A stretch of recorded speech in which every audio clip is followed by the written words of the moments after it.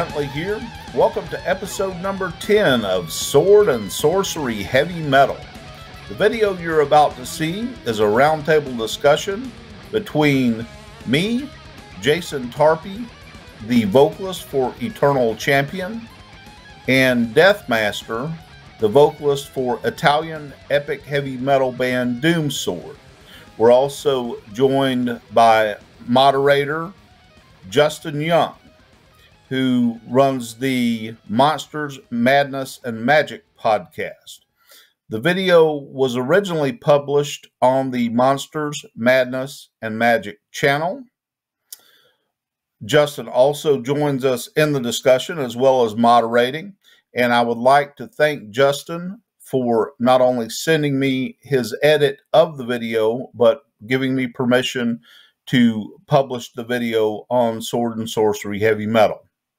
On to the discussion.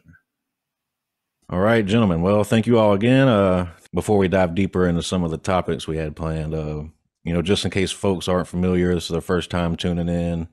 Thought it'd be a good idea if we went around the Zoom room here and gave a like some brief insight into your introduction to the genre. So maybe uh, I guess we'll start with Howie, Jason, then we'll go Joe, and I'll round it out, and then we'll we'll be off to the races. You know, there are a number of things leading up to it, but um, mainly, you know, I was getting into uh, reading Savage Sword of Conan when I was um, a teenager in the '80s, in the early '80s, and I saw that movie John Milius's Conan the Barbarian, and that really made me want to go out and find the, the paper. I'd seen the paperbacks in the store before, so with the Frank Frazetta covers, and I picked those up. Uh, I guess it was Lance um, Lance Ace paperbacks or Lancer, and uh, and just really got into reading that. At the same time, I was reading some Sword and Sorcery comic books. You know, in my early teens in the '80s, like Arak Son of Thunder, Arion Lord of Atlantis, and that kind of thing. And you know, the time I'm older than you guys, obviously. So the time I was growing up, these movies were coming out, I guess because of the success of uh, Milius's Conan the Barbarian.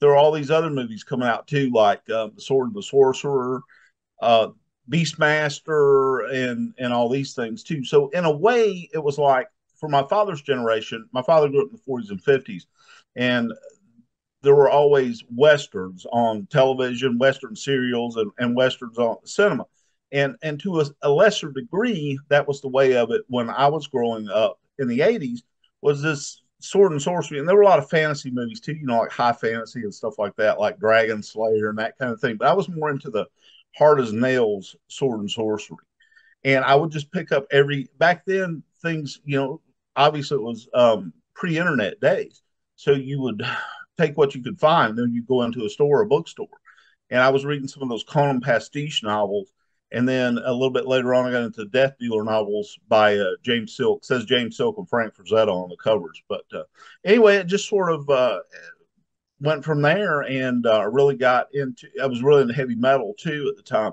So I decided to eventually put those two things together. And I won't go into all that. Maybe we'll we'll talk about that later. But I want to give the other guys some time. too, so I'll we'll, we'll, move on. Jason Tarpey. Uh, so my introduction to the genre I was similar to Howie's. Um, when I was a kid, I probably got a hold of the Conan comic books first, or seen the Conan movies. I can't remember which was first.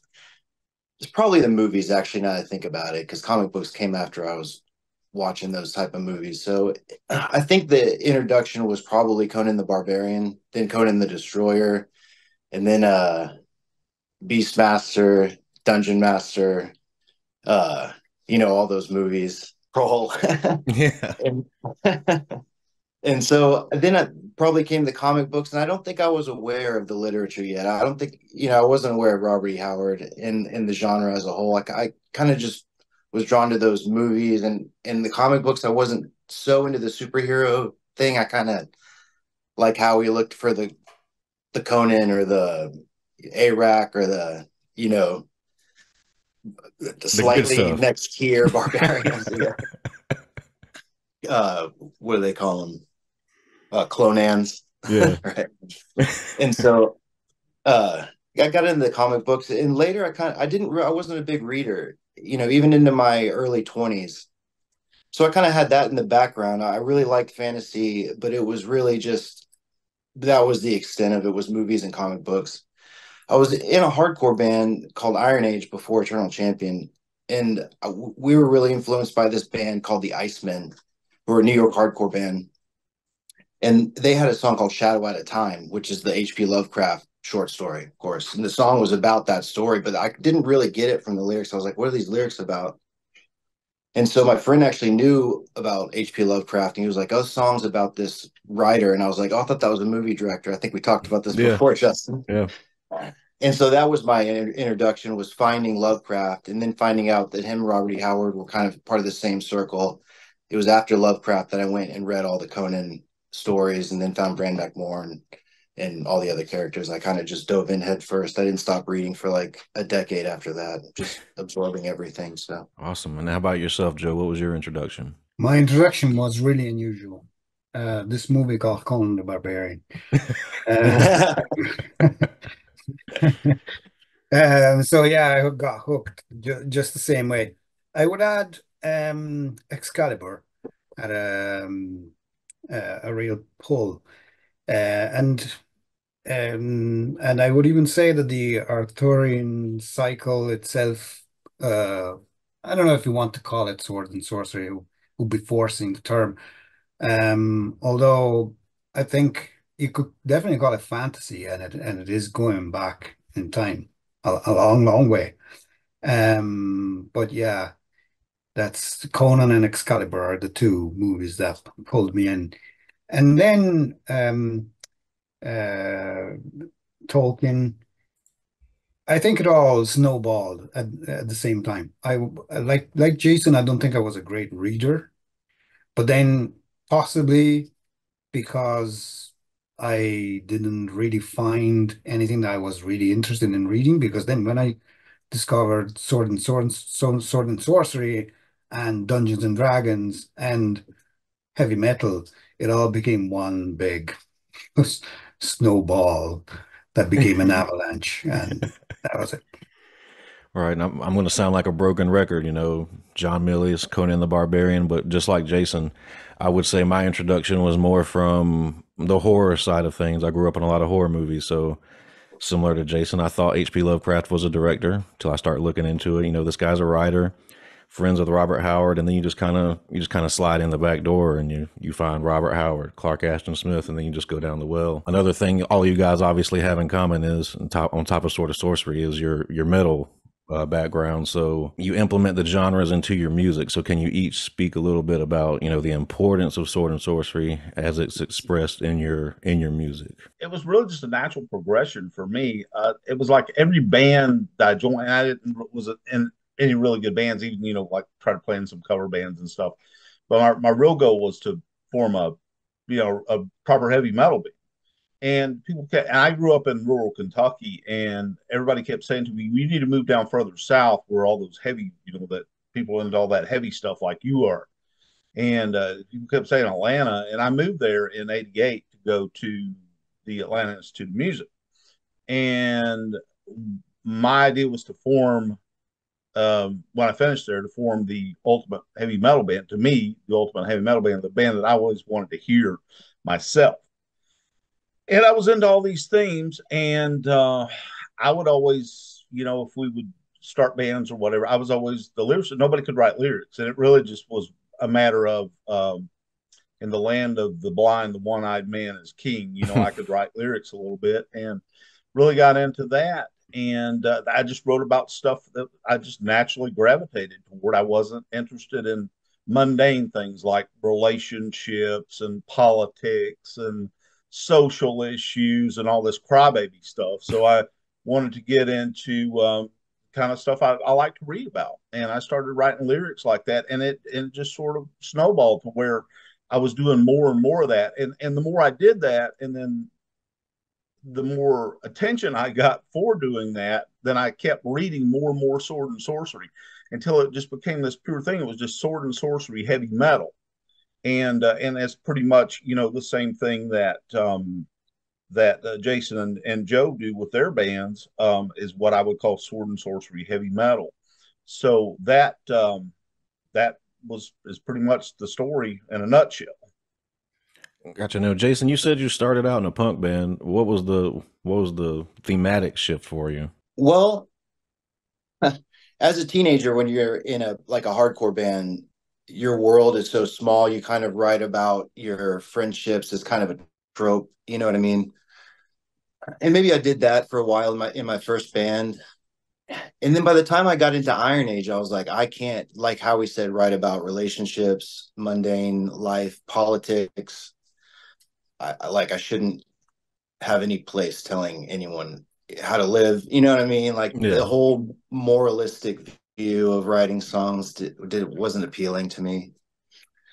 And so I kind of had to think about what kind of lyrics I like, and I like lyrics that have stories. You know, I think that songs can just be like a movie or a short story. And I'm thinking about the stories I like now. I'm reading uh, Robert E. Howard and Clark Ashton Smith, Lovecraft, Michael Moorcock, and as I'm forming Eternal Champion, the goal is just to write songs that you can follow along with the lyrics and kind of give homage to the story to pull you in. You know, it's a little bit of escapism, but it's also engaging. I mean, just because these songs are about, we'll call it sword and sorcery or fantasy, just because they're about other worlds doesn't mean they're unrelatable. They're still about humans. You know what I mean? They're just, um, they're people that we that we make up that we see ourselves in or uh, see other people our enemies or you know you can't help but kind of project yourself onto these stories. Or if you're a writer like we are projecting yourself onto these characters. So there's just a very human engaging element in writing about these stories. They're so visceral and they're so emotional. And that's kind of what music is good for is conveying emotions. And that's kind of what these stories are full of even if it's like two emotions like anger and uh you know battle lust. So you know what i mean? It's yeah. just well said.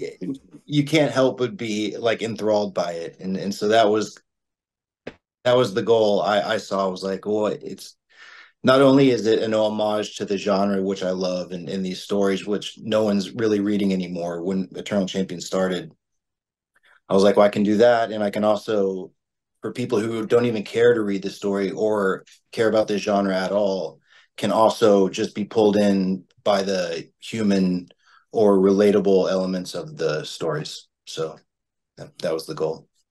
Well said. How about you, Joe? Mainly it's escapism. Uh, I have to confess, like mm. when probably the world you live in you're not quite satisfied with, you start dreaming of other worlds. Um, but um, as far as the actual influence of sword and sorcery in uh, Doomsword's music, I would say the biggest influence was Michael Moorcock.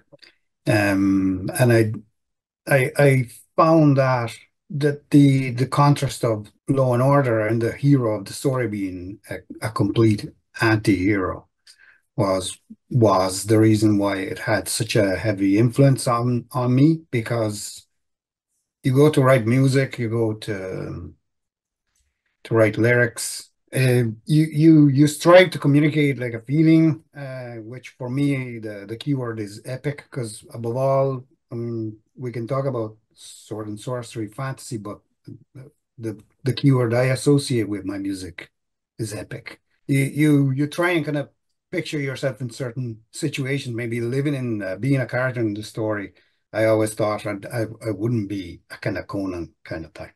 um, uh, I would be more, you know, the guy that um, ends up being a protagonist in the story, but maybe has some darker side to them, and is not necessarily all out good. Um, but uh, by all means, Conan wasn't, but you know what I mean. Yeah, uh, being a yep being a kind of an archetype character, you know, he was all out something. Um, whereas um, Michael Moorcock, uh, I mean, the attractiveness of Elric compared to other characters is its complexity, the character complexity, and how Moorcock developed it. So yeah, and that's that's why that's why it features so heavily and not necessarily explicitly. I mean, like we we've done songs about uh, Elric. The the the contrast of uh, order and chaos, inner conflict uh, that's always present and it's uh, more or less always deriving from from Moorcock. In fact, the last album we published a long time ago now is mm-hmm. called The Eternal Battle, which really just refers to your own yeah. internal battle that's never ending, right? So yeah, that that's it really. That I would that would be a, a summary of it. Joe, I can't believe I've never asked you this, but when you're growing up reading this stuff, are you reading in English? So that's that's a cool thing. Uh, oh, by the way, when I say that Moorcock influenced, um, I don't know if I ever said this. Uh, I I wanted to call the band Stormbringer, uh, but there was already uh, about a hundred million bands, and uh, um, a friend of mine uh, that nowadays runs a distribution called Iron Tyrant um, in in Italy. Uh, he had a, um, a, much greater familiarity with the English language than I did back then. And um, couple of days later, I don't I don't know where he goes. Uh, you know the way you were looking for a, you know, a band name that was basically you know give me Stormbringer, but not Stormbringer. and he said, what about Doomsword? Um, so uh, uh, that's what I went with. But yeah, back to your question, there's a, a moment in time. So I moved to Ireland in 2004. Mm-hmm. So before then, I read and watched movies um, in Italian. Didn't do any English at all. In fact, um, you could argue I didn't have much English, and, and you can you can even see it in the lyrics, in the pronunciation of of of of the words in the in the songs, like in the recordings, and even even like the resound the horn. That's like grammatically incorrect.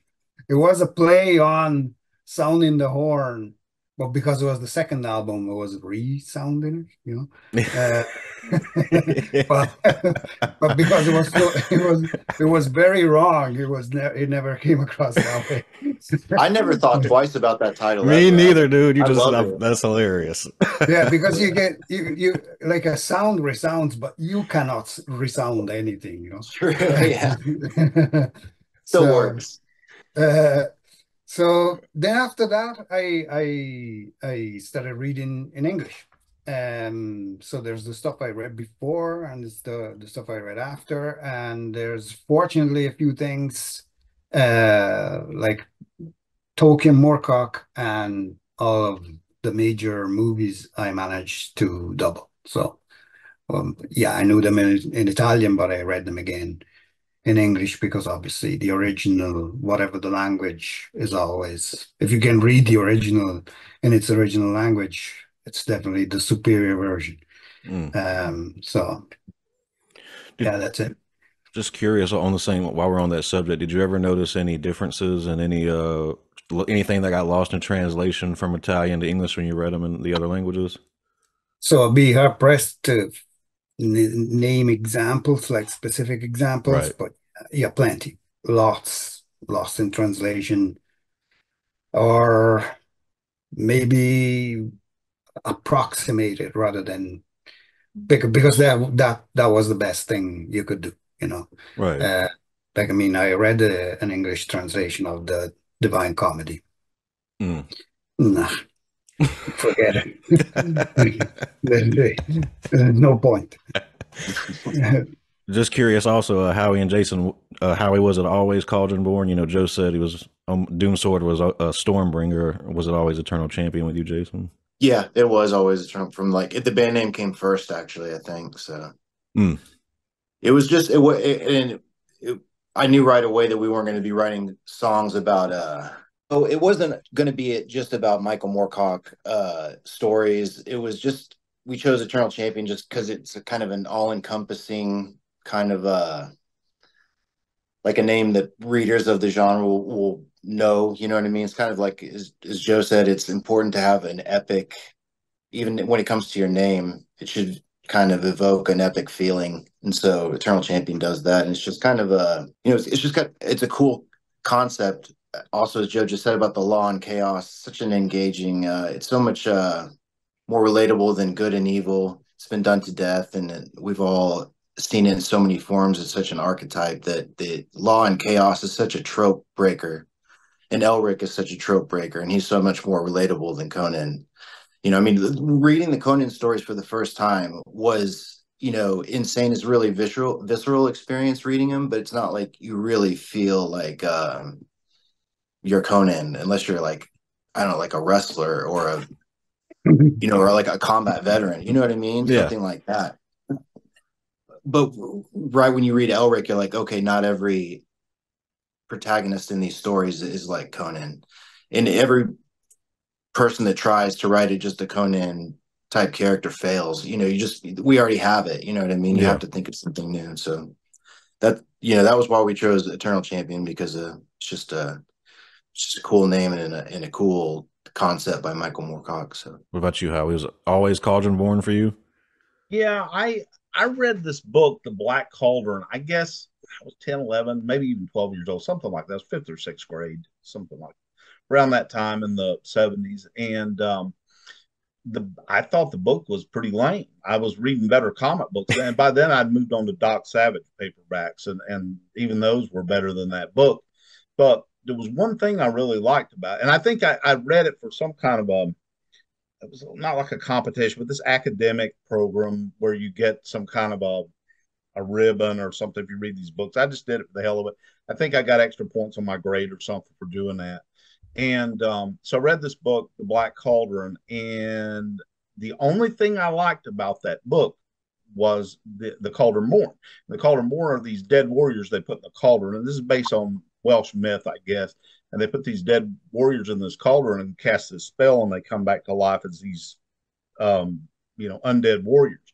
And um, and the Cauldron born are like these demonic things. And um, so that really left an impression on me. The concept of Cauldron Born and that name just really stuck with me when I was a kid. I'm like, I'm going to use that for something one day. I don't know what. And I was, I've just gotten into music around that time. It's like, I c- couldn't use it for anything to do with music, but I'm going to use it for something. And then later on, when I got this idea, you know, the, the whole sword and sorcery metal thing was coming along, I'm like, I'm going to, I'm going to form a band and I'm going to call it Cauldron Born.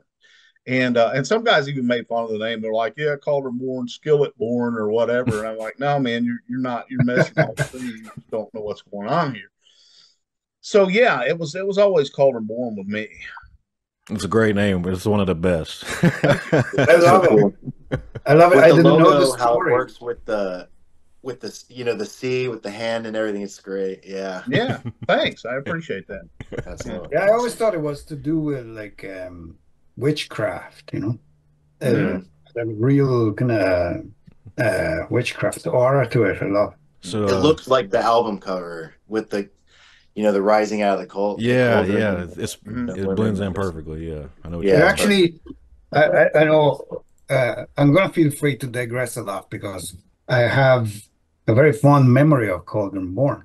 So after um, we we did this demo in three days, um, we reached an agreement with Underground Symphony, and we went to visit their offices.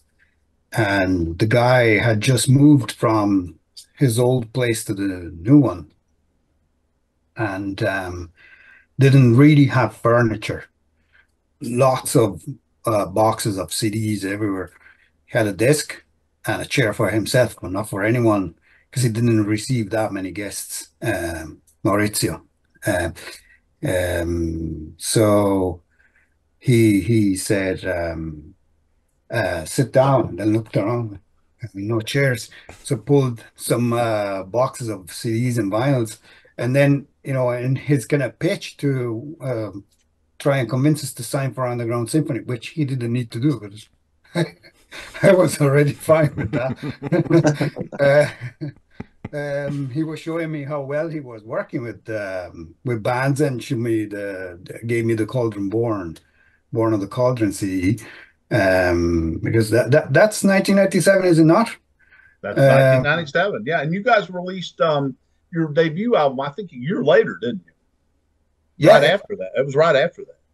yeah, yeah, that's right. Yeah, recorded in 98, maybe very, very early 99 came out. Uh, something like that, yeah. So actually, that would make it 25 years old in, in, a, little, Cool. in a little while. Uh, that's it. Yeah, I, I remember Maurizio telling me about Doomsword. Um, I was talking about doing another album, and I asked him how how the reception was to this kind of heavy metal because when we did that album, we were almost too proggy for traditional metal fans, and we are too traditional for prog metal fans. You know, people listen to Dream Theater and stuff like that. And of course, on uh, Underground Symphony, I think the only two bands that were doing this kind of metal was Cauldron Born and Doomsword. And he he mentioned Doomsword. He's like, well, we'll see when the new Doomsword album comes out. Um, you know how things are, and uh, so he, he he was very confident in in that release. But uh, yeah, we were the only two, and the rest of the the it was mostly Italian bands. I think there was maybe one other American band that I could remember on Underground Symphony at the time, and that was Jack Frost band. I think it was called Frostbite, and that wasn't any kind of metal. It was just some kind of hard rock kind of stuff.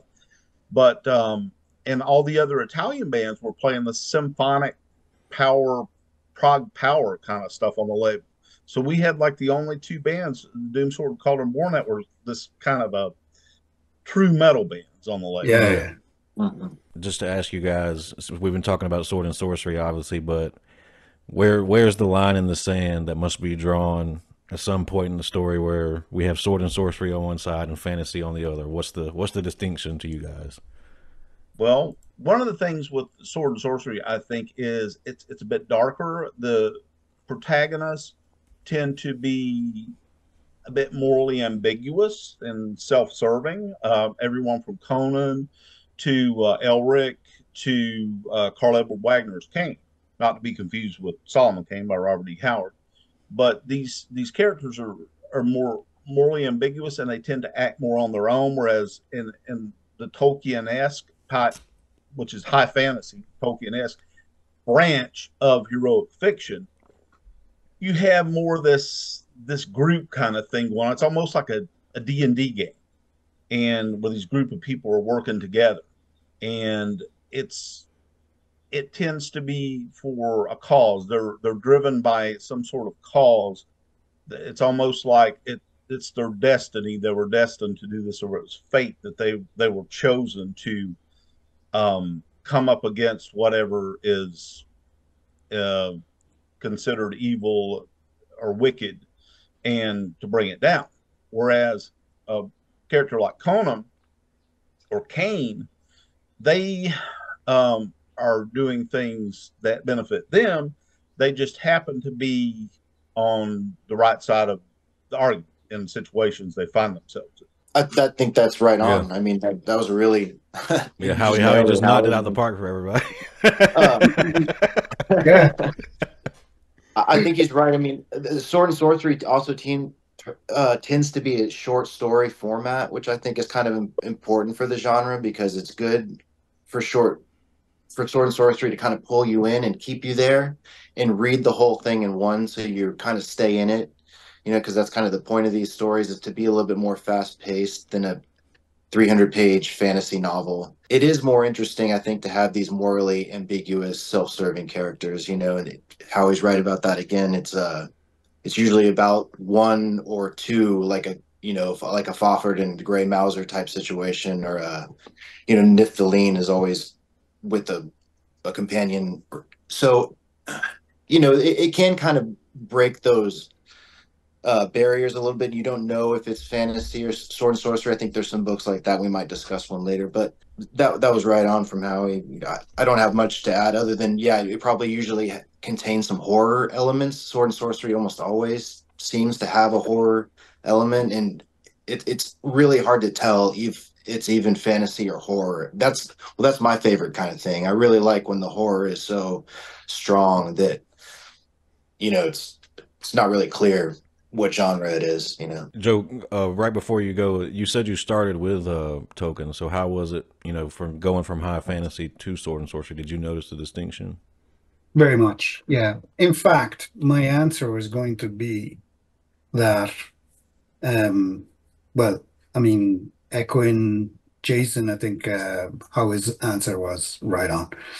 But um, in my head, because I, I see things a little bit in uh, in in sets. So if you got like the whole fantasy genre is big one big set of uh, literature, um, um, then you've got uh, fa- within fantasy you got generally speaking high fantasy and low fantasy, and I definitely think that sword and sorcery would be a subset of low fantasy. So I don't think it, it, you can call anything that has a, a spell every two seconds uh, sword and sorcery.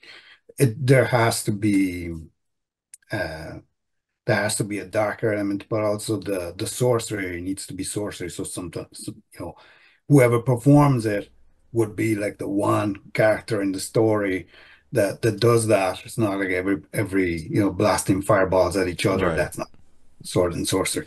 Um, so that that's more or less the only addition I would have is that to me, sword and sorcery is also if if it's high fantasy, then there's no chance it can be sword and sorcery.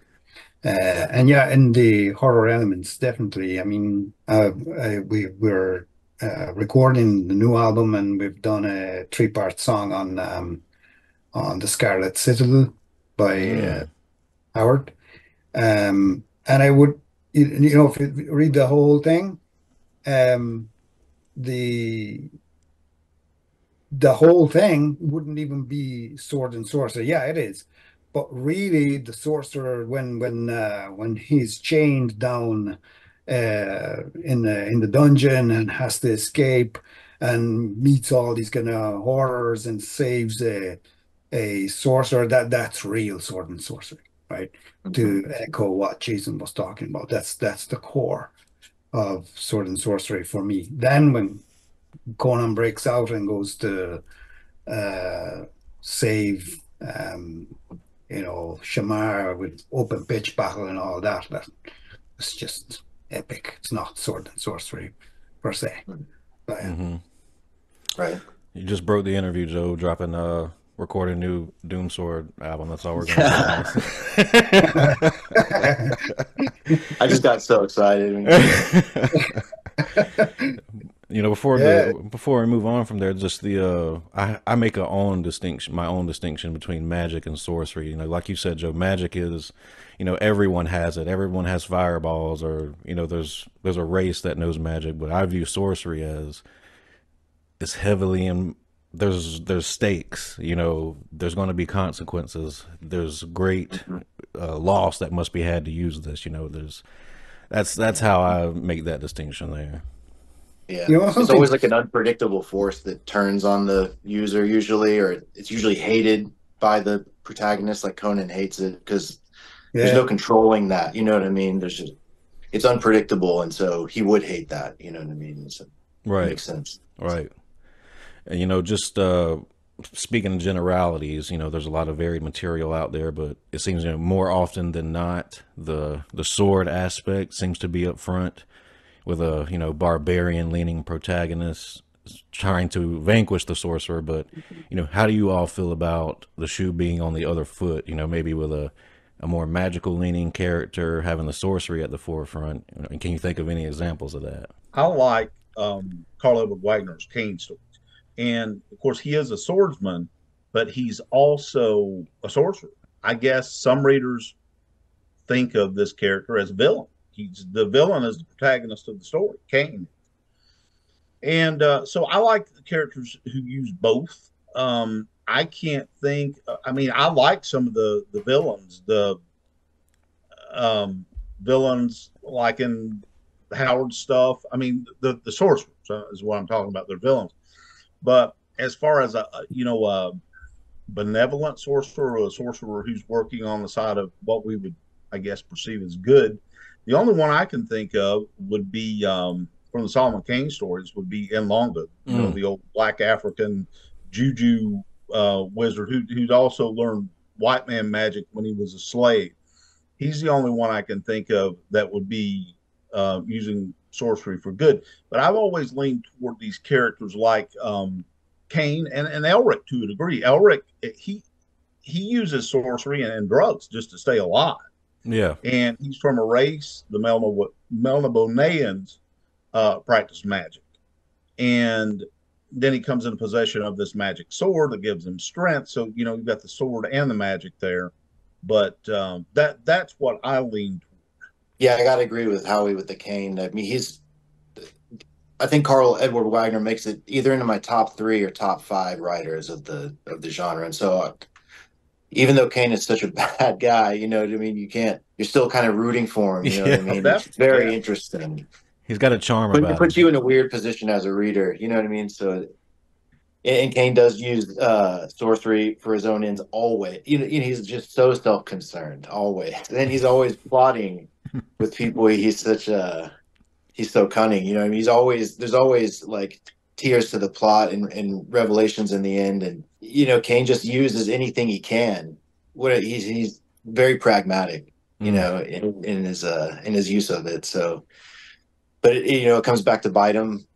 You know what I mean? In, most most times, and so and Elric's a, a good pull too. I mean, he uses sorcery just to stay alive, to be strong, kind of differently than Kane. He's not using it uh, to build an empire. I, Elric isn't even Im- interested in empire building. It you know in the beginning he wants to shirk off his empire. You know what I mean? And, and his the of sorcery element is uh, more medicinal. You know what I mean? And right. I guess then then it comes later. He uses sorcery in all kinds of ways, but uh, yeah, those are two really good uses of of the sorcery in in, in you know the genre. Well, actually, uh, no, I'm, I'm not going to deviate for me, Elric.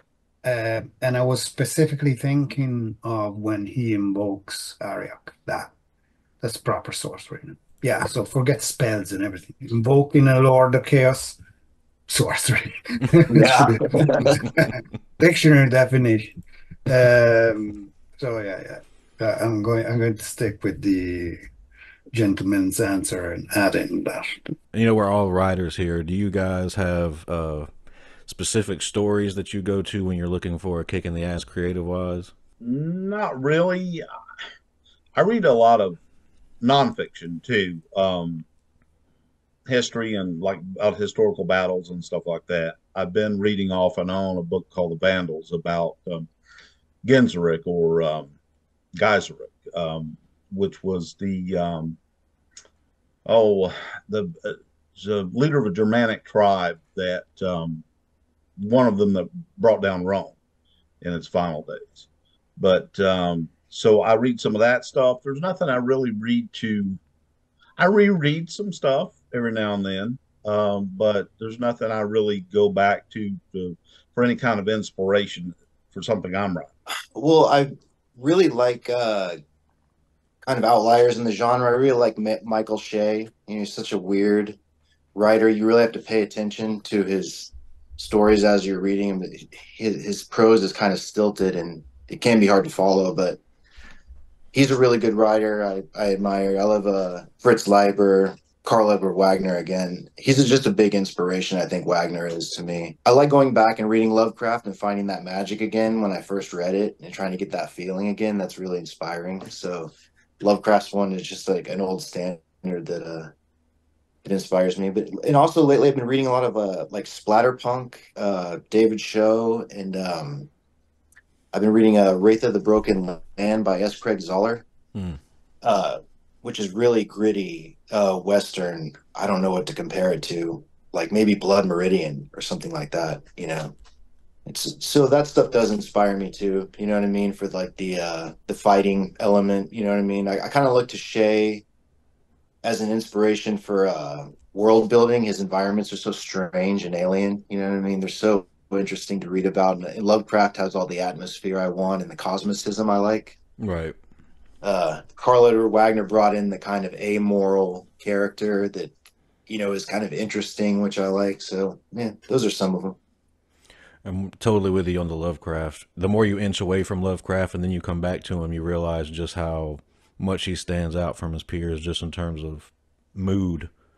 Yeah, absolutely. What about you, Joe? What do you go to to get the spark going? So I think if I uh, have to give a an answer at any moment in my life, you say what what what you go back to, that would be Howard, but um, not Conan though. Um, I think um, uh, the Bran Mak Morn and the Kull stories are the ones that really, uh, I don't know, they they have something more in them. I don't know why. Maybe the character. I don't know. Just to give a a slightly different spin. I'm a very oral and also a visual person, so um, for me, illustrations, paintings um, are actually what get me going with uh, for inspiration. That's why I'm surrounded by them. I can't see, but I can see the bottom of the that dealer there. Yeah. Um, um, and also, uh, this this is a bit unusual. There's this uh, YouTube channel called the Cybrarian. No, I don't know now if I'm allowed to drop names, Yeah, but sure. the Scottish guy that does uh, narrations of, um, well, for, for the majority, it's Howard stuff. And his interpretation is out of this world. Like, really. Um, I if if you were to pick one story just to get an idea, I would say either Delcardes' Cat or uh, Night of the Kings. Uh, one is a Kull story, the other is uh, uh, Bram McMorn. Bran Oh. Mak Morn actually with Kull in it because he comes into the future from. Uh, and if you listen to to those stories, all the accents this guy pulls off, the atmosphere he injects in the story. I don't know, maybe because it's coming into my ears rather Yeah. than through my eyes. Uh, music is for the ears, so maybe I should come in Yeah. that way.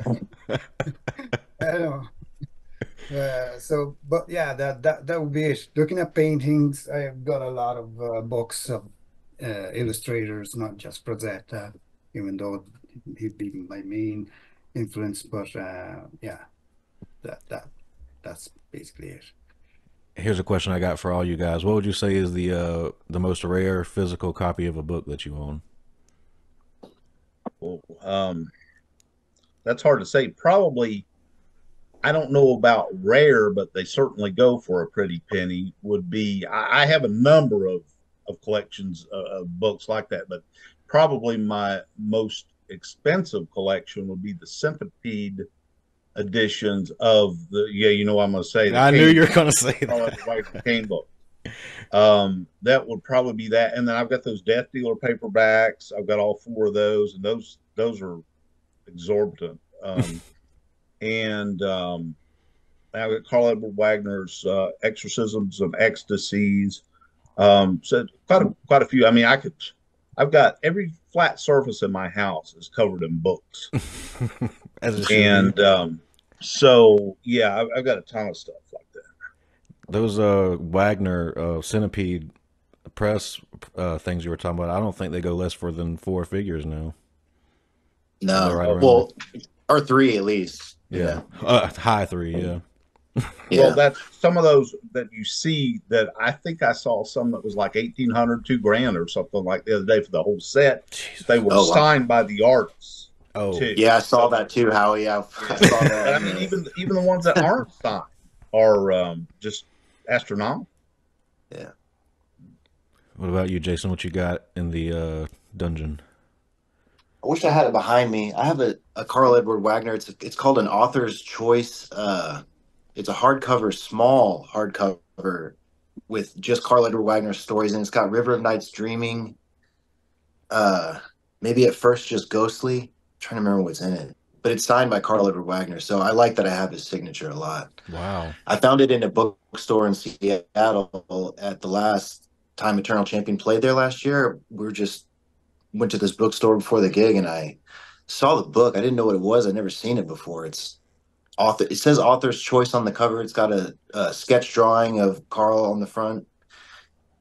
And I saw that. I grabbed. it. I was like, "Holy shit!" And I looked at it. It said seventy five dollars. I was like, "Oh, I'm buying this." And I looked, and it had that autograph in there. I was like, holy shit, $75. This has got to be like hundreds What of dollars. find. And it just became like a treasure immediately. Yeah. Yeah.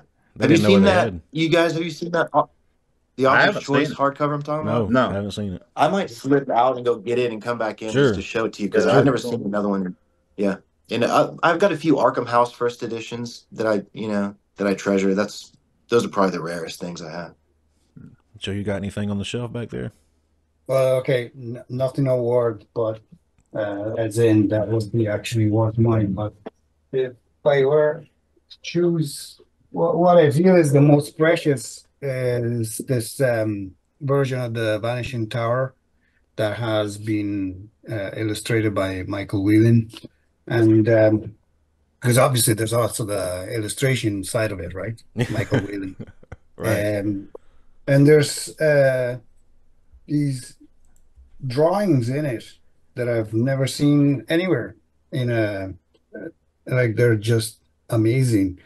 Wow. Um, uh, I'll show you another couple because they're out of this world. They're all um, Wayland. Yeah, all the, the the whole book is illustrated by. Uh, it's like having a a huge series of Siritongo covers in the Yeah. book. Uh, this one's unreal.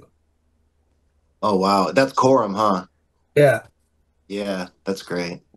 So yeah, nothing that would be actually worth amazing money, but certainly uh, dear to my heart.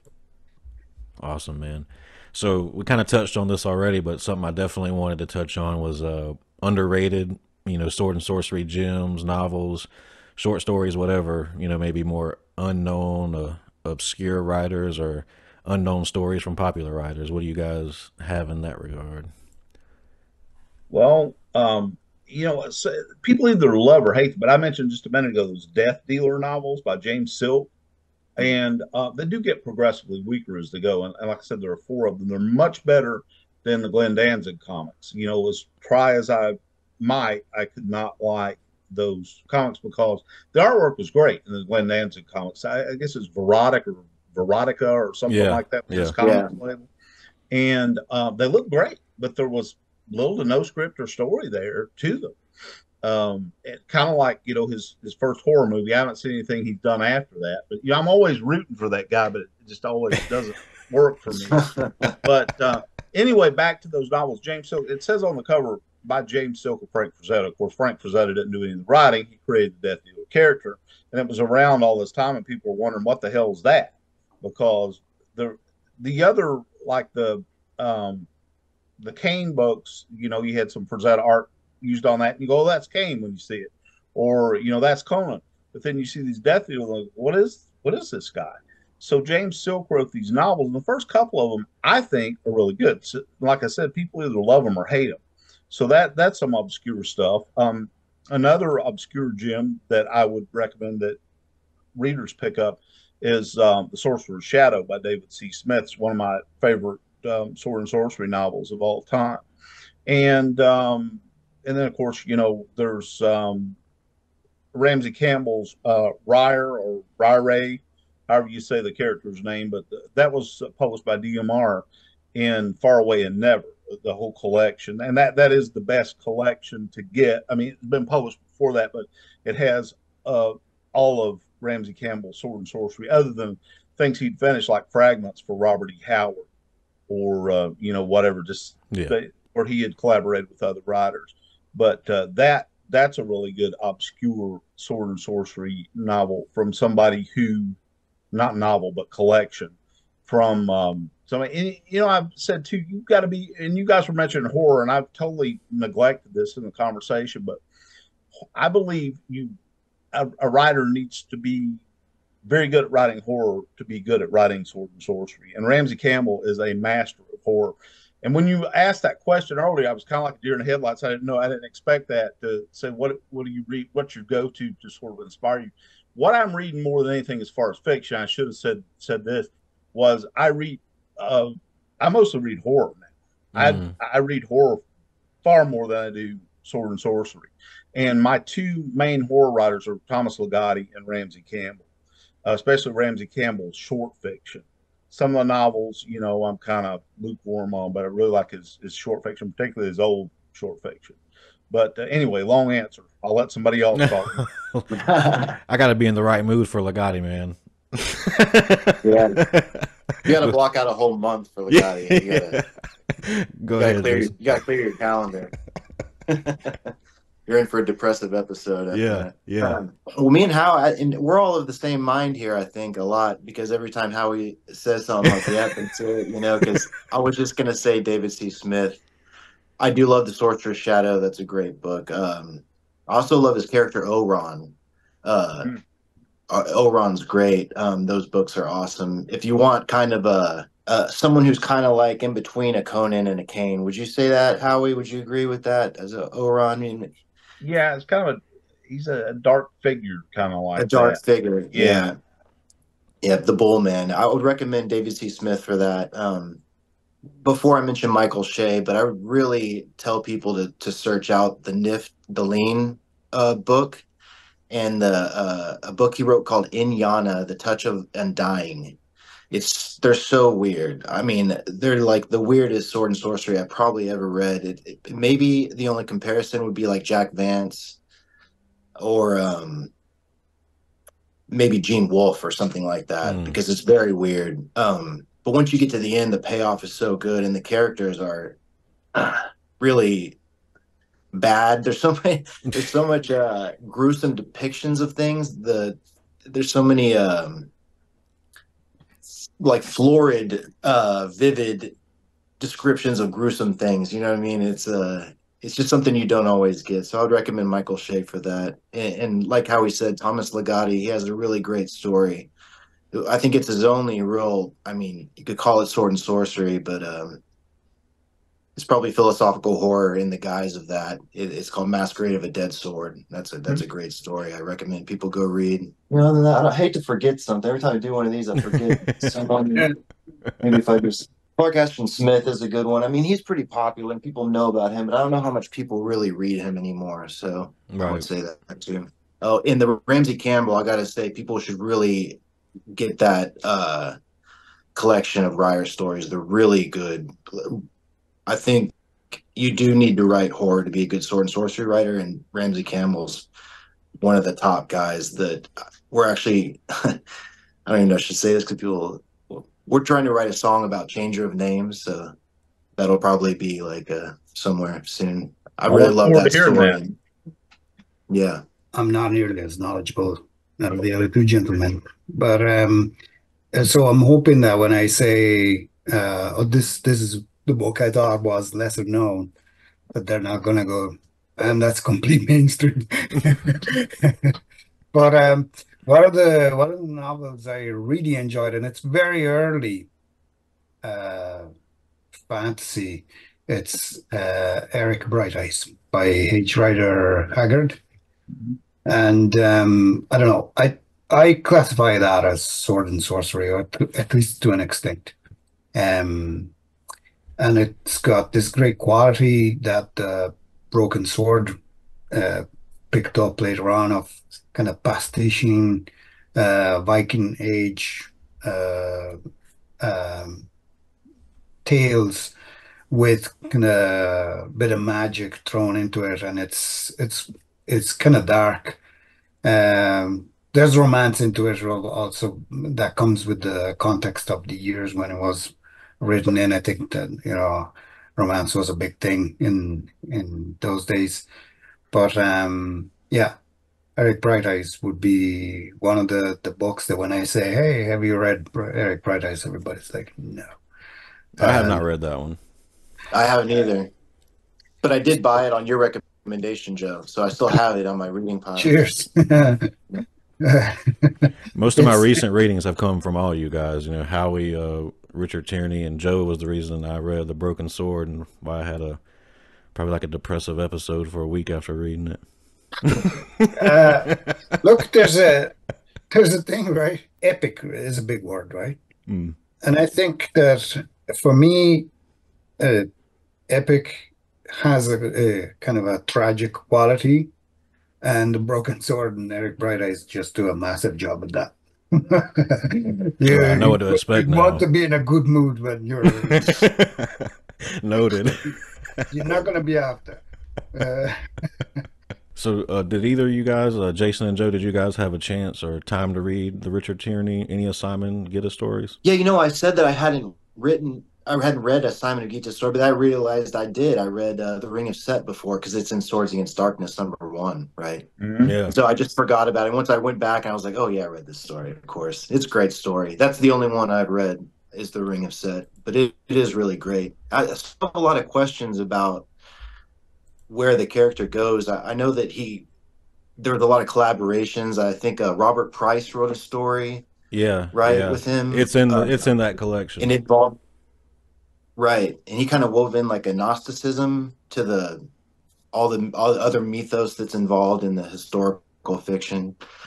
I generally like the historical fiction angle you know what i mean? Like the simon of gitta is kind of a lot like uh like bran mak morn you know what i mean? Yeah. like the historical fiction of the Picts it's just kind of ripe for that uh injection of horror you know and the fact that it's kind of Lovecraftian mythos horror is perfect for us because we're just going to read it as fans anyway. The, Simon was kind of, to me, he's kind of similar to Kane in that he's a biblical reference. You know what I mean? Because so Karl Edward Wagner's Kane is, is based off the bi- biblical character of Cain. And, and so is Simon of Gitta is Simon Magus, right? yep. in the That's right. Bible. So Right. there's that really interesting element. But I think a lot of this stuff that is like um, historical fiction that might interweave Lovecraftian mythos or a horror element is it doesn't have like the oppressive uh, cosmicism, you know what I mean, of uh, the source material of Lovecraft. You know what I mean? Like Lovecraft would look at the little dealings of these cultures as just moments in an uncaring universe. You know what I mean? Yeah. Yeah. So I guess there's that. There's that. There's that. It's almost like writers, as fans of Lovecraft, writing fan fiction. You know, with their own characters, and using history as the backdrop, and then interjecting the Lovecraft as kind of um, fans, or to have that horror element, because it doesn't get any better than that. To have something eldritch and or you know so old right. just the fact that things are so old is kind of where the horror comes from. So uh, I really enjoyed that story. I got to read the rest of them for sure. Yeah, uh, you'll love them. And just before we get too far into Richard, Howie, you knew Richard personally. Uh, for people who may not be familiar, why don't you just tell us a bit about Richard's work and how you uh, came to know him?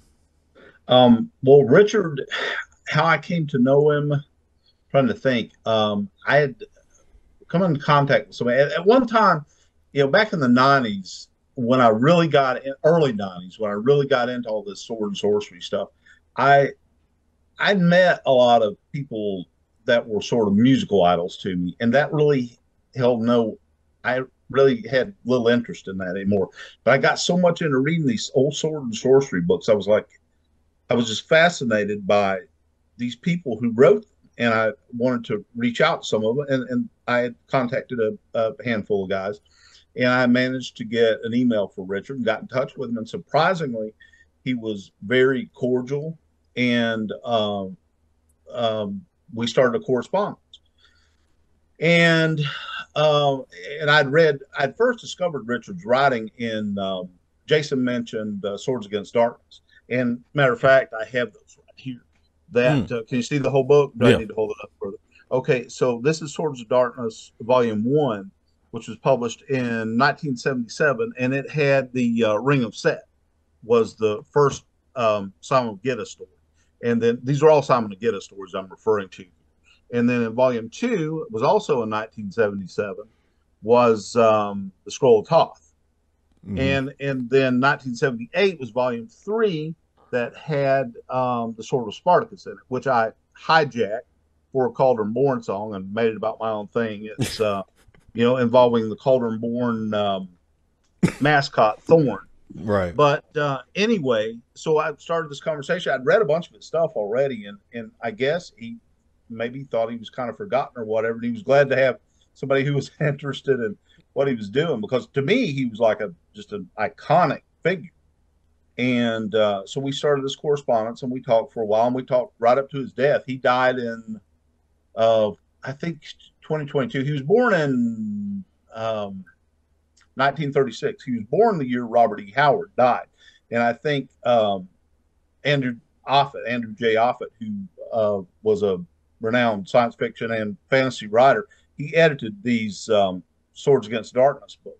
And he even uh, speculated that you know, maybe jokingly, that uh, Richard was Robert E. Howard in, incarnate or reincarnated rather, because he uh, he died the year, uh, or he was born the year Howard committed suicide, right, and died. So anyway, Richard once told me he had more in common with Robert E. Howard than any other writer that he felt that he did. Um, so, but he was also really into um, the history of early Christianity, history of um, ancient Rome. Um, just just would take years and years of reading to get to the point he was at to be able to to implement the kind of detail in the stories that he did in mm-hmm. those Simon the Gitta stories as far as imperial Rome. So there was uh, he like i said he was interested in early christianity the history of early christianity. He had given talks. I know at least one when i was still uh, talking to him right before he died in 2022 he um, had given a, a lecture at a church a while back um, on the history early history of christianity and he was also interested in gnosticism and gnosticism basically in a nutshell, at least as it applies to what we we read, is okay. So the world is created by an evil God, and um, that's and as it applies to somebody like the fiction of H.P. Lovecraft, or even more pronounced in Thomas Ligotti's work, you have the macrocosm, which is whatever your concept of the source of creation is, beating down on the microcosm, which is man. And that's um, cosmic horror. I use this word again in a nutshell. Is that um, you have the macrocosm terrorizing the microcosm, and so that's kind of where the Gnostic thing comes in. Um, really, to to get by it, deep into the Gnostic um, background of Richard's works, I would recommend talking to um, Robert M. Price. Have you have you talked with him about? I haven't. I haven't talked with him yet, but I'm going to reach yeah, out to him. He would be a good guest to have on here. He also is publishing. Um, he was the heir to Lin Carter's estate, and he's publishing Flashing Swords, uh, again, which is Lin Carter's fantasy anthology from you know way back in the '70s. I read uh, Swords Against Caesar, so that would be gotcha. Like, yeah, the origin of the character, I suppose. So first of all, I loved it. Um, and it, it invoked a number of weird feelings. Um, because for a start, how how am I going to put it? If you read, uh, if Howe read a story by Moorcock that said, um, and Elric threw Stormbringer and said to the people of Atlanta, Georgia, and you'd be like, "What?" Um, because because all of the places are yeah. Are, I don't. My my father was, or uh, so you know, flicking a sword and sorcery novel, but also with familiar places in it was uh, very very strange. Never felt that, so it was a first. um, secondly, um, I also felt a bit stupid because I started writing my own novel. Um, I'm not a writer, despite you saying, you know, writing and being a writer, different things. Um, I tried. and um, uh, so the main character would be this uh, uh, early Middle Ages monk that performs a like a reverse uh, conversion. So he goes from being Christian to a pagan um, because of let's call it divine intervention. Um, like the opposite of of Jesus. He, he's a Christian, but Odin kind of makes it clear you're Odin incarnate. So off you go and destroy the whole Christian uh, reality. Um, and the reason why I felt stupid is there were so many commonalities with uh, with Simon. Uh, you know, the kind of focus hatred on something in particular for him. It was Rome. Um, and the uh, the setting. So all these kind of Latin names and uh, uh, Roman culture popping up because early Middle Ages really, at the time of uh, Germanic invasions, um, the, the main culture is still uh, still Roman with heavy Byzantine footprint. yeah. So aside from from these, which are just my own personal. Um, um, impression uh, or or rather feelings that the feelings that the novel has stirred. I I just um, I just loved it. I loved the I loved the restrained use of of sorcery, how it was like used uh, uh, here and there, but when it was used, it just punched you in the face. I, I mean, one of the first, one of very early scenes when um, uh, Simon's in the arena and uh, with the sword of Spartacus mm-hmm. somehow, you know, killing uh, killing causes the Etruscan demon to come yeah. down from the sky and blast fifty thousand people, um, and then leave the whole scene.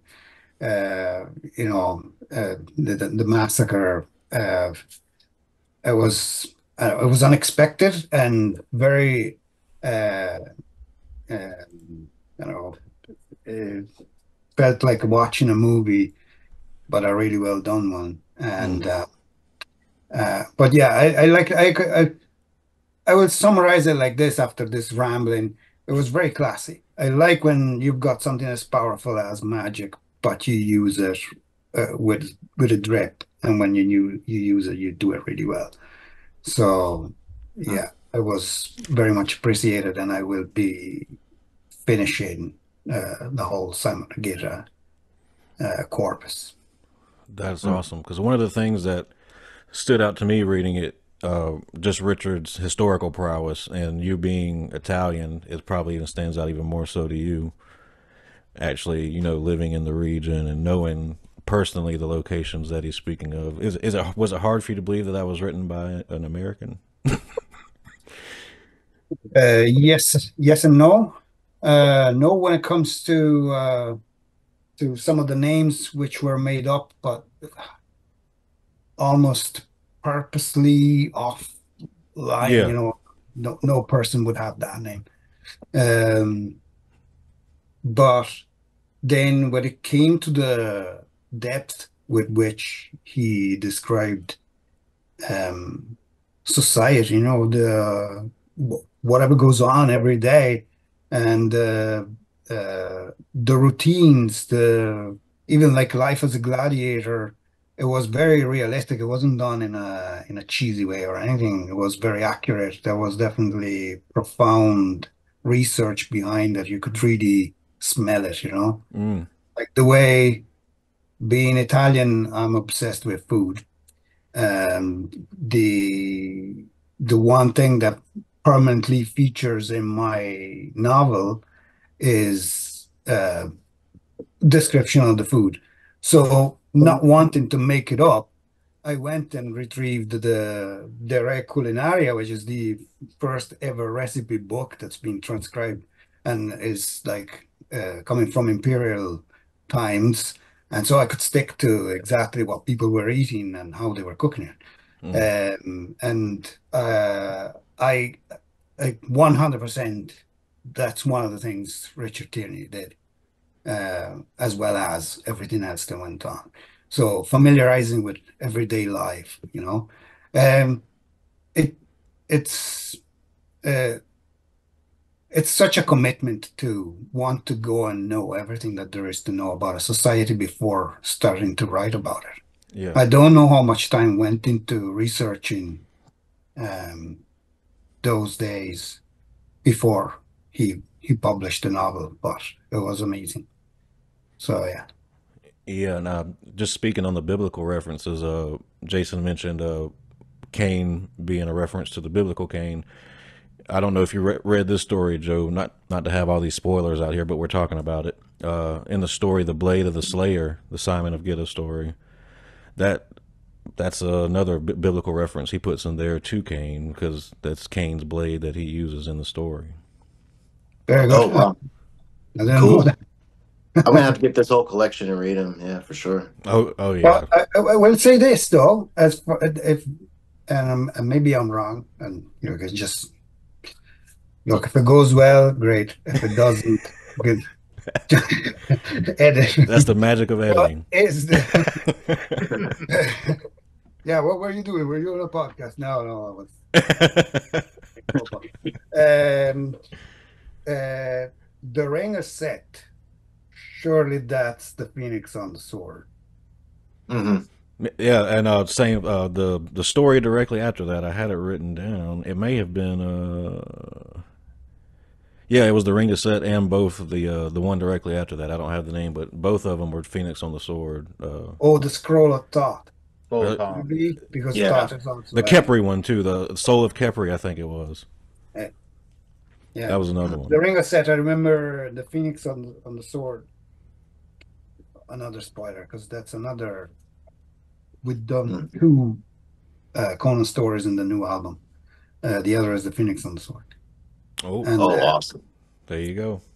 and you know cool. the sorcerer notices that the fat kind of noble guy takes out the ring and is shaped as a serpent. He loses his, his mind and stabs him on the spot, um, and and regains his powers. Right?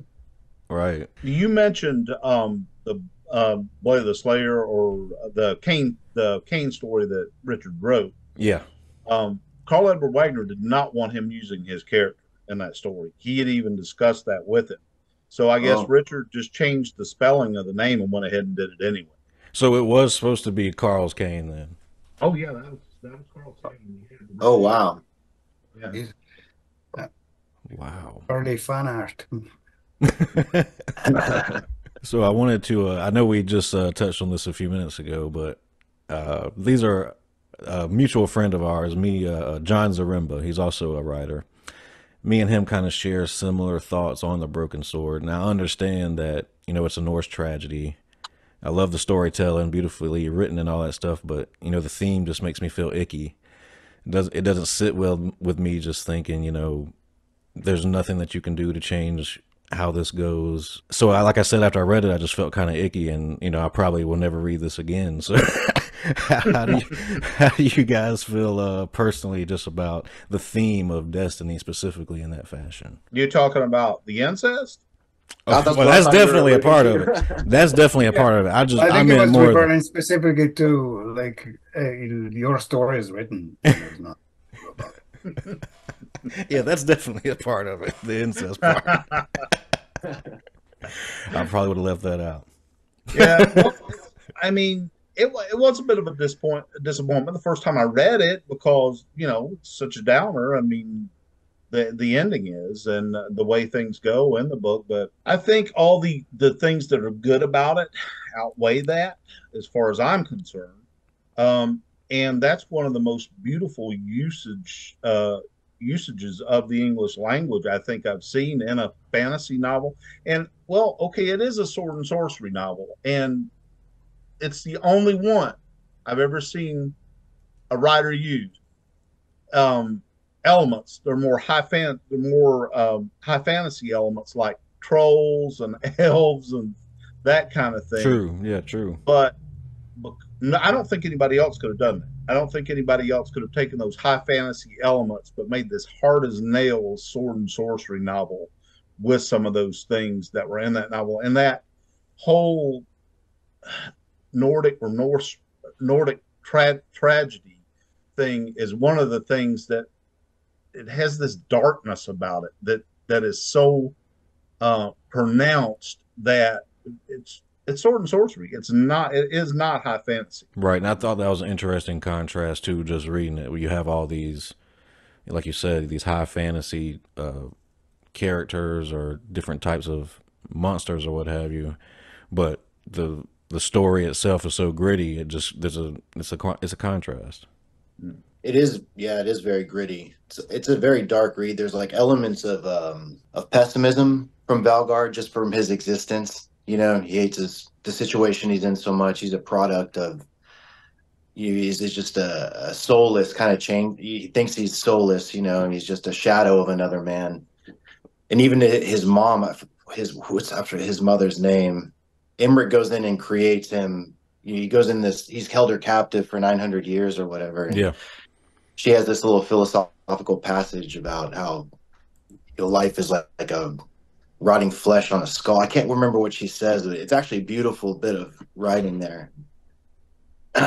it's just so dark. I mean, ever the doom is for foretold, so that you know it's coming. It's not a surprise, even to the characters. They they all know they're doomed, and that's almost okay with them. So it's almost not a.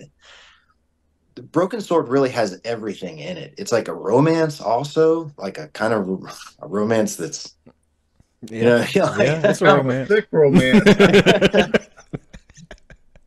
but you know that it's really heavy handed with that. You have to read so much romance, and you're like, God dang, it's you know what I mean, like, and it's the worst kind. So it's also a dark fantasy, uh, like how we said. I think it is sword and sorcery, but you can if you did want to make an argument, maybe you could call it dark fantasy, like Karl Edward Wagner said his books were dark fantasy. But yeah, it really did have it all. I mean, the characters were so interesting. I mean, just the uh the writing is so beautiful and, and so visual, like when um Skafloc is growing up, being adopted by the elves and all the learning their ways.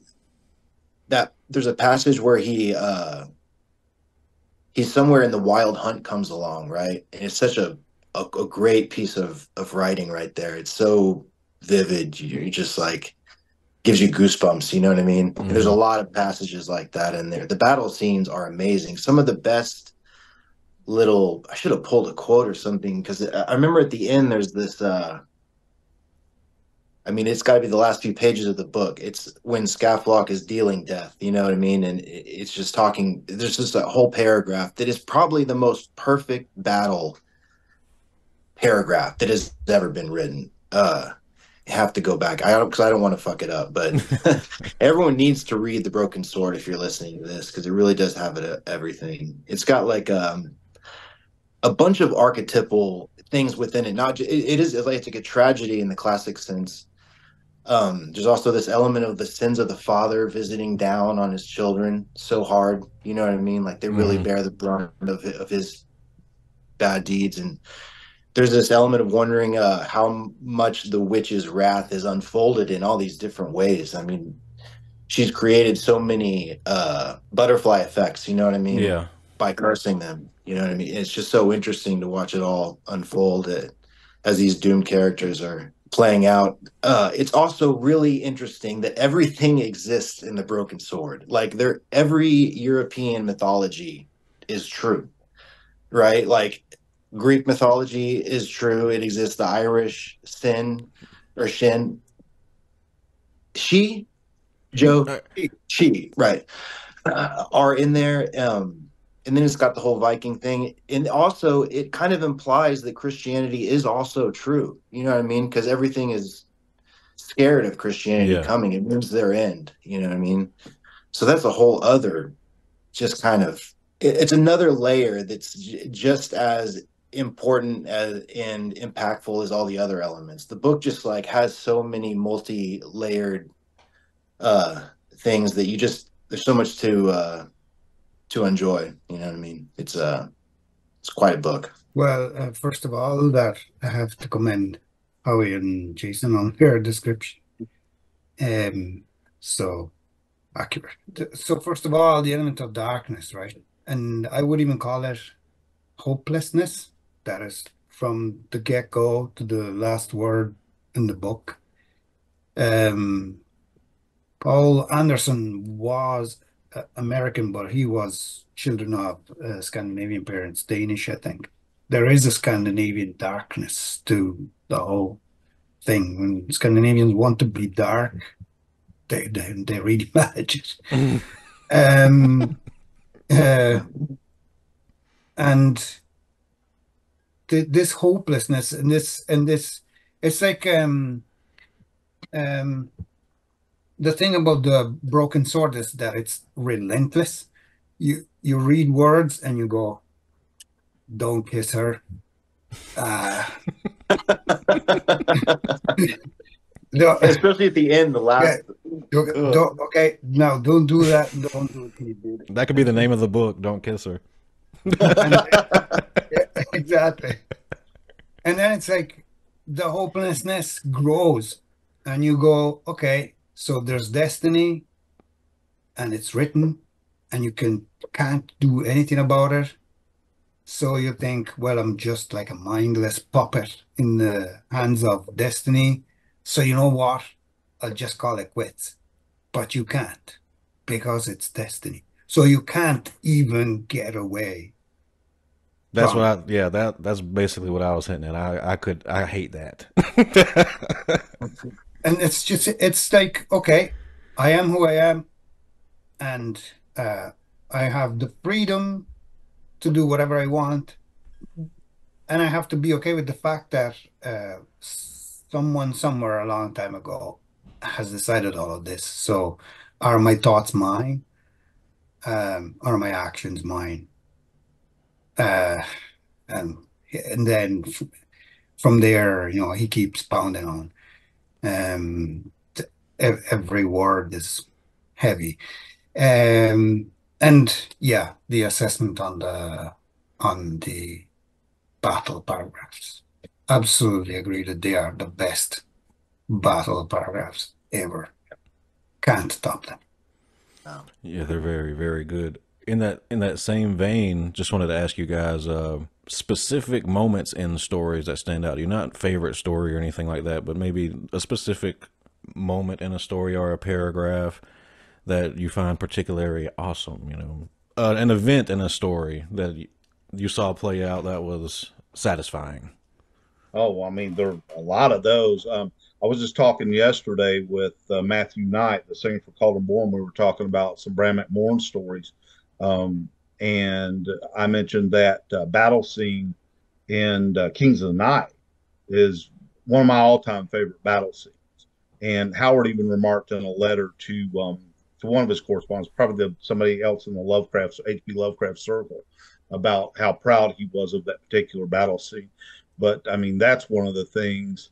Um, and that's all I could think of right off the top of my head because we were talking about that yesterday. But I'm Right. sure uh, Jason and Joe can probably elaborate much better than I can on that. sort of thing. Well, I can just remember real quick just something that Eternal Champion did that I because I love this story, Worms of the Earth. So it has it's a story that centers around Bran Mak Morn again. So you get that uh Pictish mythology that no one really knows about. Howard had such a rich palette to to to create from. You know what I mean with the Picts because there's just not that much known. So you get the mystery of the Picts, and then it has the Lovecraftian element. In the end of the story, it kind of hit me because the Bran Mak Morn goes through such lengths to exact his revenge on Rome and and, and Titus in this story, and he brings up the worms of the earth, which are the you know they're never really described fully, but they're like you know horrifying, and they're destroying this Roman legion and, and toppling their towers, and and Bran Mak Morn looks at at uh, Titus with disgust. He's gone mad from everything he's seen. You know what I mean? The the slaughter and the the sight of the worms of the earth coming up and destroying everything was just uh, broke him. And Bran Mak Morn just is kind of disgusted at what he did. He, he again he he kind of evoked this unnatural evil that he doesn't understand. This kind of sorceress element, I suppose. So that was a it just kind of jumps to my mind like, oh, that's instantly relatable. You know, going too far Mhm. in your uh, in your um, in your vengeance or whatever. It's not that. It, it's just uh, and it really struck me so much that I wrote a song based on that story. So. Great song. You and Howie both have great songs about worms of the earth. mhm. yeah, what what Jason just mentioned, I, I recall a line from my my song was called "Finder of the Black Stone," and Mm-hmm. um, the the one line that and regarding what you just said that reminded me of was, "I gave up humanity to crush my foe." Right. Right before the chorus, so that's Yeah. that's pretty much it. Yeah, that that is a really um, that story leaves an impression. And Right. what was the name of the Eternal Champion song about worms of the earth? Just called Worms of the Earth. Okay. Mhm. It was an Italian band, and Joe probably knows something about these Rosae. Crucis. Yes, they did a, a a concept album. It was the They did, year yeah. after, yeah, the year after I released And Rome Shall Fall, they released this whole concept album about Bran Mak Morn. Really? Yeah, it's really good. Yeah. Wow. I'll What do have you know about that that out. band, Joe? Uh, we we we um, funnily enough, we played together in our very first show in 2002. Um, but they were were very well known in Italy, also because they were one of very few bands that originally came out singing in Italian, Mm. and they uh, their first demo was called uh, Fede, Potere, Vendetta, which means faith, power, and vengeance. And uh, so yeah, they, they've been like stalwarts of the Italian metal scene, and uh, Worms of the Earth is highly recommended. Very good album. Uh, Cool. Generally some guys anyway. So so uh, I want to go with the first thing that came into my head because it's, I'm assuming that's always the right answer, and that would be um, Elric blowing the horn and putting an end to it. Um, also because it, it it has it ties in with the general theme of this conversation about sword and sorcery. Um, one one of the very first examples of fantasy literature, um, um, going back to um, I think it's the 1500s, is uh, Orlando Furioso, and and you know Elric goes to find the sword of uh, I think the horn of uh, Roland or whatever he does. I can't remember, but there's definitely a, a mention uh, of Roland. Roland is the main character in uh, Orlando Furioso, so uh, has that little Italian Mm. kind of connection right at the very end uh, of the saga when he destroys the world as he knew it. Um, because supposedly we're in the world after, right? Right. What Right. what comes after him blowing the horn is our world.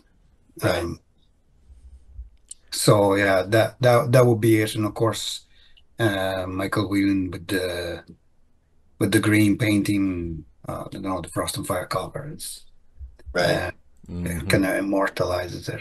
So yeah, that We would be my. Go Yeah. on. That's a great answer, uh, Joe. I was just we we were talking about the broken sword, and there's that kind of similarity between Stormbringer, is Tyrfing, That's- right? The broken Yeah. sword, and the way That's- Valgard is killed in the same manner as Elric. It kind of slips from his hand and aims itself at him, and, and you know, bails himself. Absolutely, and and and Yeah, yeah, uh, I mean, Broken Sword has so heavily inspired uh, Moorcock. Like, I mean, Right. there must be an open tell. thing that he says. Because first thing I thought, like first few lines, Imric and Elric are not that distant in the, right. actually the, the actual way it sounds. And they're Uh, kind of elves in the same way, dark elves, kind of Yeah. evilish, kind of elves, you know. That's right. Uh, so if there's uh, there's definitely heavy influence, um, but I think he even admits it. I mean, I, I don't think Moorcock has ever hidden the fact that uh, Broken Sword was highly influential on on the whole Elric saga. And yeah, absolutely. The the moment, the the way the whole thing ends is total uh, Stormbringer. Uh, what what does Stormbringer say again? Goodbye, my friend. I was a thousand times more evil than thou. Yes, so good. Yep. something like that. Yeah. Well, gentlemen, we're going up on two hours here, so I guess uh, just to wind down and put a bow and everything, we'll just go around and give you all a chance to plug some things and say what's on the horizon. Uh, Howie, I know you got the Sword and Sorcery Heavy Metal series on the Echoes of Crom YouTube. Give us a a breakdown of what you got going on and plan for the future with that. Um, just at this point, I just try to surprise myself every week or so, and and I'm just doing the last um, episode was Matthew Knight and I discussing the Solomon Kane story, The Hills of Dead. And yesterday we just did another video discussing C.L. Moore's Hellsgarde. And um, so I'm just going to keep rolling with the podcast. I've got a couple of stories that are going to be published next month. There's a story in uh, DMR Books that there's a new DMR book series called Die by the Sword. I had a story uh, in the first volume of that uh, last year that dealt with the Anglo-Saxon invasion of Britain, uh, or was set during that time. Didn't so much deal with. I mean, that background. It was called um, "Secrets Only Dragons Know." I'm sorry. Did you want to say something there, Joe? No, not in in approval. oh, okay. uh, and then I have uh, a new the well, getting around to what you actually asked me there.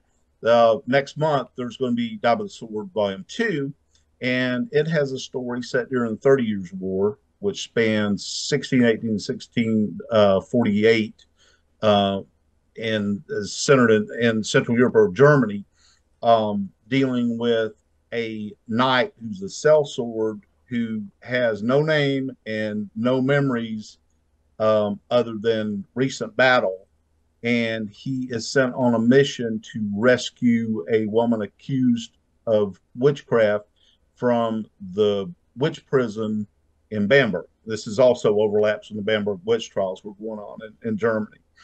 And uh, that story is called Reflections of a Haunted Mind. That's going to be published uh, next month in the Sword 2. And I've also got a Sword and Planet story called On the Eve of Zerket Bull, which uh, involves a character of mine named Tharg Tanuth. He's like a cat man. He's like this jaguar, jaguar man with tusks, and um, they're laser gun battles, and and of course there's a it's more of a like a medieval weaponry uh, as well. You know, like a in some ways like a standard Sword and Planet story. But he was one of the characters from my uh, short novel Under a Dim Blue Sun, and uh, that's going to be published in Cirsova next month. I think the date is March 16th when that magazine comes out. And then, of course, um, I'm hoping to be able to record the next Cauldron Born album this year as well. So that's pretty much what's what's going on with me. How you been writing, man? Mm-hmm. That's good cool, stuff. Yeah, I love to hear that. Thanks. Cool. Yeah. What about you, Jason? I know you got the Sword Worship magazine going on. What else you got in the? uh Oh yeah, pipeline? we we just released the second issue of Sword Worship, which is like a little uh, fanzine we're doing now. It was just going to be like a little one page uh, newsletter for Eternal Champion, since we're not putting out so much like uh, inner workings of the band out on social media, like kind of the more personal stuff. And so it was going to be like a little newsletter. It just kind of snowballed from there into an actual fanzine because we have so many ideas we want to do. So now we're publishing uh, comics and short fiction in it.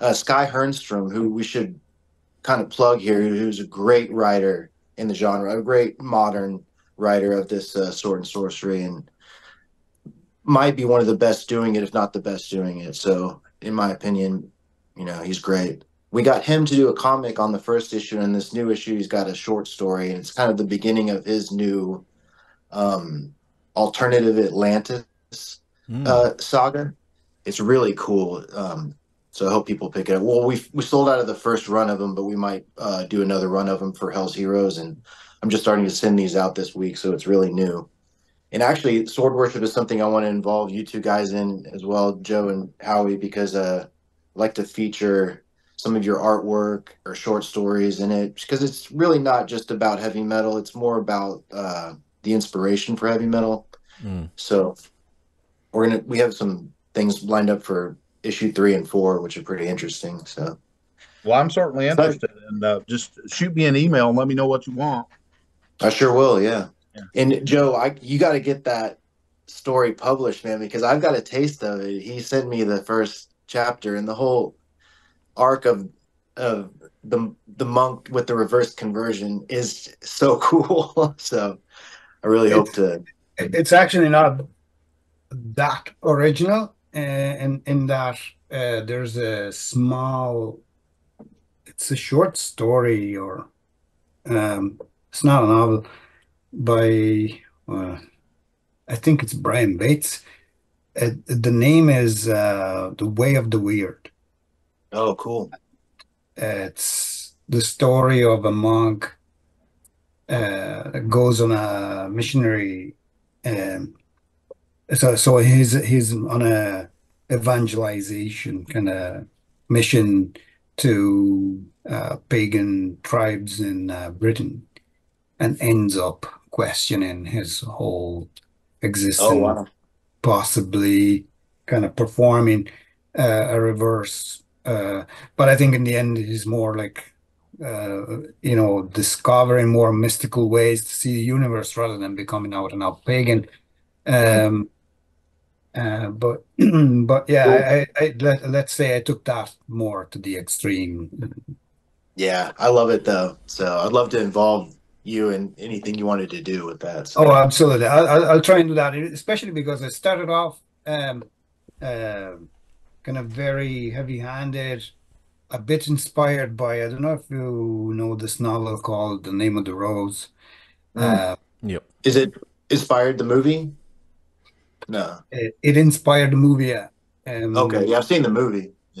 Yeah. It's it's really cool, right? The way Yeah. you wouldn't you wouldn't call that fantasy or sword and sorcery or anything, but set in a you know medieval monastery and um, Yeah. there's a lot of uh, that w where it becomes genius is that it teases you into thinking there's supernatural elements to Right. it, but then in the end, sorry sorry for the spoilers, but there isn't. Yeah. But uh, there's a lot of uh, the the writer Umberto Eco um, is um, first of all, I think he won the Nobel for literature, I think. But Oh, wow. uh, secondly, he was a semantics professor in university, so he played a lot around words, and Yeah. you know the whole thing is about words in, the Right. end. Um, but uh, so I started off very heavy-handed like that, um, and then I went, look, this is not this is not how it should be. So in, instead, I kind of took a step back and started writing small, short stories, which I think fit the the whole uh, character better. Um, so I, I, I, when I have something reworked, I might shoot off a couple of short stories and see what what. I'll, I'll probably submit submit it to you guys first because um, uh, I'm a what's it called? Exophonic writer, so a person that writes in not their native language. Um, uh, so you know, gotta watch out for grammar and blunders. The So next thing we're that- working on is the split, which Joe announced. We have a Eternal Champion is going to do a split with Doomsword, so that's kind of the next thing we we're working on our album as well. So we should record it this summer after this little tour we're going on. So, but that's the thing I'm really looking forward to is that doing that. I know. I'm so excited. I know, uh, so behind in the actually m- m- making the whole thing, uh, like finalizing it, but uh, Yeah. it's very exciting. Yeah, it Okay. Yeah. Yes, it is. Jason, you got anything going on fiction wise? I'm trying to follow up the Godblade, yeah, with a collection of short stories. Again, the Godblade was just I would never do that again. That's too long. You know what I mean? Yeah. It's a short it's a short nov- novella, I suppose, but really the short story is the is the ideal format for this kind of thing. And I want to go off and not write about just Randon. It's got to be about the other characters too, because I know, I've kind of kind of done all I wanted to with him. He kind of served his purpose in the Godblade and I don't know where to go with him besides that. The whole world is changing now after the God Blade, so it's kind of um